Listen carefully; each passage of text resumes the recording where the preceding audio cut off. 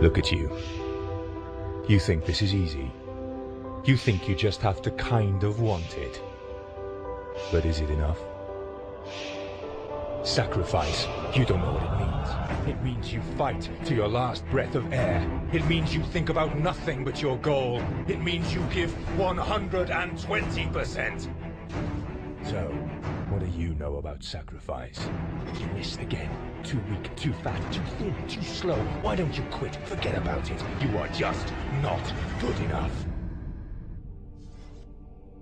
Until you want it as much as needing to breathe, you will never make it. You think failure is not achieving your goal. Failure is believing you are trying hard enough when you are not giving all you have. Don't ever let anybody tell you you can't do it.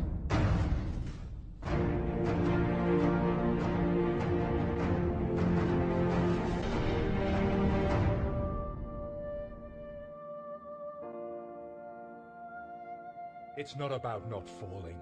It's about getting up again. It's about keeping.